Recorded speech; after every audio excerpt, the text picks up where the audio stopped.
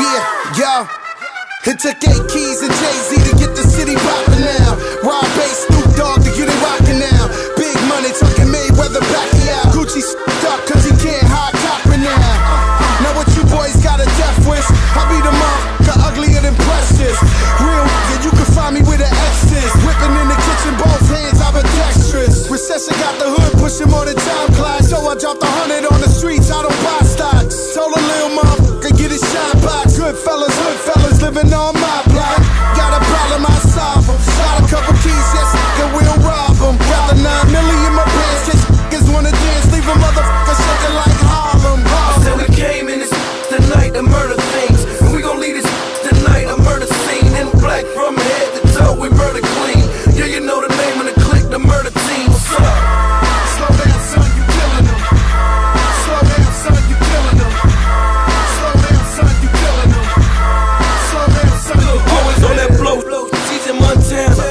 cocaine capital. That would